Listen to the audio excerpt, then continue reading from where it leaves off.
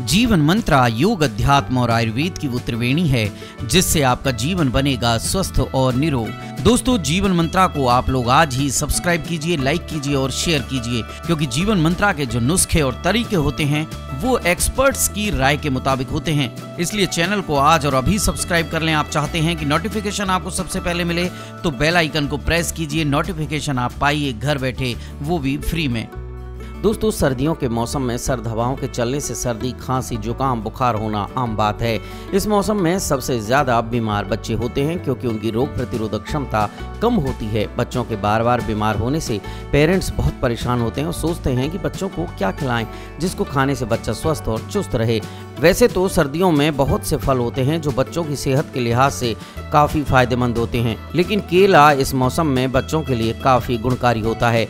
सर्दी में बच्चों को केले का सेवन करवाने से छोटी मोटी परेशानियों से निजात पाई जा सकती है। आज हम आपको बताएँगे कि कैसे केला बच्चों की सेहत के लिए फ़ायदेमंद हो सकता है। सबसे पहला है, ये इम्यूनिटी सिस्टम को मज़बूत करता है। सर्दियों के मौसम में बच्चों में गैस की समस्या होती है। बच्चों को इससे बचाने के लिए उन्हें रोज़ाना एक केला खाने को दें। इससे पेट संबंधित बीमारियाँ नहीं होंगी। अगला है, मुँह में छाले। मुँह में छाले होने से कोई भी चीज़ खाने में दिक्कत आती है। अगर बच्चे के मुँह में छाले हैं तो उन्हें केले खाने को दें। इससे मुँह के छालों में राहत मिलेगी। अगला है, खून की कमी को पूरा करता है। केले में आयरन मौजूद होता है, जो हीमोग्लोबिन की मात्रा को बढ़ाकर खून की कमी को पूरा करता है। अगर बच्चे में खून की कमी है तो उसे डाइट में रोज एक केले को शामिल करें। इसके साथ ही दुबले पतले बच्चे का वज़न भी बढ़ेगा। दोस्तों, ये वायरल इन्फेक्शन में बहुत मददगार होता है। सर्दी में बच्चों को खांसी जुकाम, वायरल इन्फेक्शन जैसी प्रॉब्लम होती हैं, इस तरह के इन्फेक्शन से बचने के लिए बच्चों की डाइट में केला शामिल करें।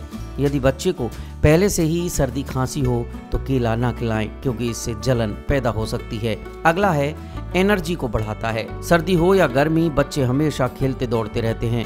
इससे उनके शरीर में खूब एनर्जी वेस्ट होती है। केले में कार्बोहाइड्रेट और शुगर की मात्रा अधिक होती है, जिसको खाने से एनर्जी मिलती है। जीवन मंत्रा में आज इतना ही। फिर मिलेंगे एक नए विषय के साथ। तब तक के लिए आप हमारे चैनल को सब्सक्राइब करें, लाइक करें और शेयर करें।